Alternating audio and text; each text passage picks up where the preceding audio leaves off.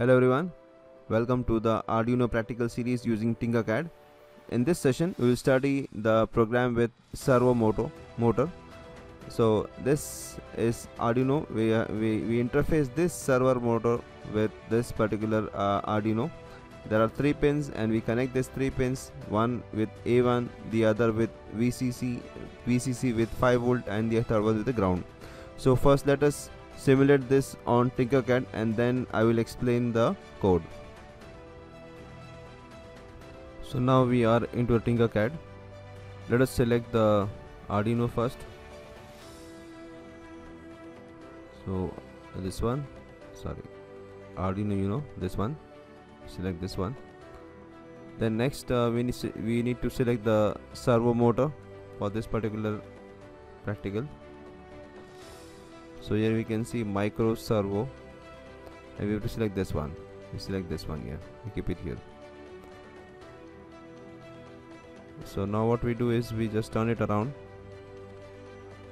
Click here. Okay we'll keep it in this position. Now next we do the connections now this micro servo motor has three connections. If we click if we just put the uh, this uh, we have this this is the uh, signal this is the power and this is the ground. So in our case we give the signal from a1 pin a1 of analog. So i'll just put it here. Let's connect this a1 this is a1 then this one as we can see it is power. So it needs 5 volt power supply. This 5 volt power supply and then finally we this is ground so we can have this ground connection here. This is the ground connection.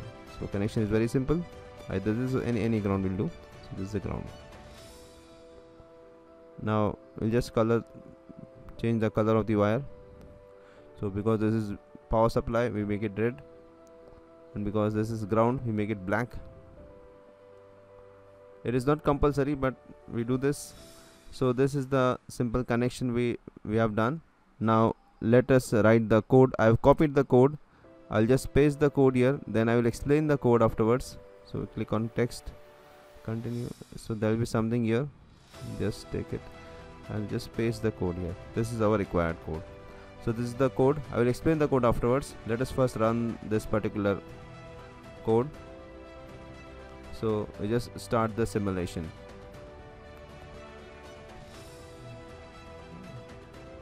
as you can see this particular motor is running. It is moving around.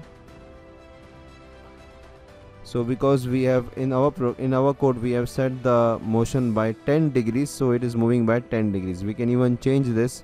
I'll show how we can change. I'll just stop the simulation.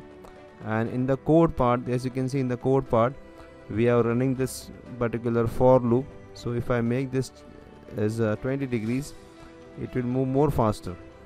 So this is the way this is the point where we do the change and we can again start. Now as you can see it is moving by 20 degrees. So this is how we perform this. Now I'll explain the code now. So this is the very simple code which we have used in our in our program.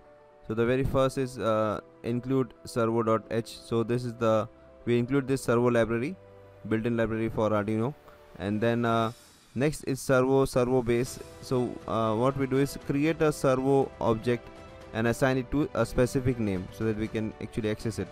Then in the next step what we do is specify the pin which which, which has to be used uh, for this servo.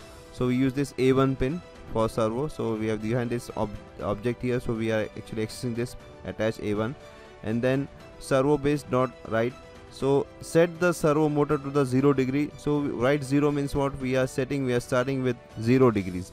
If we write any particular angle it can be set from 0 to 180 in any degree. So we are starting from 0 degree.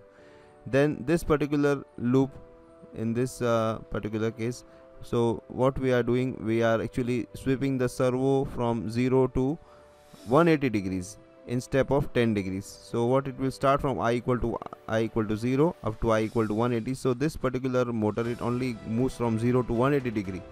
There are of course uh, motors which can move around entire 360 degree but this only moves up to 180 degrees so we are setting this from i equal to 0 to 180 and in the steps of 10 degrees. We can even change this to 20 if we change this to 20 to move in the steps of 20 degrees. So what it does the, the next step it set the servo to the current angle.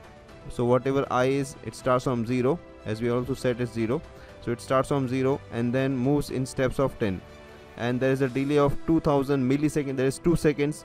So after every 2 seconds it moves with an angle of 10 degrees. So that's all for this particular session. Thanks for watching. Like share subscribe and comment